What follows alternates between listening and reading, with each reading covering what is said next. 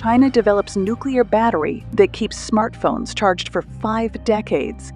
The nuclear battery effectively converts beta radiation emitted from a radioactive nickel isotope into electricity, utilizing high-speed, high-energy, low-mass electrons, while beta particles represent a less hazardous form of radiation compared to others, such as X-rays or alpha particles.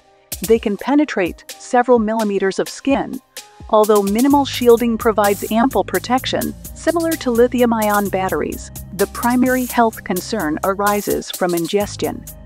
Despite this, Betavolt asserts that the potential for a durable battery for drones, robotics, and autonomous systems far outweighs associated risks. The company also highlights that its development places China significantly ahead of European and American scientific research institutions and enterprises.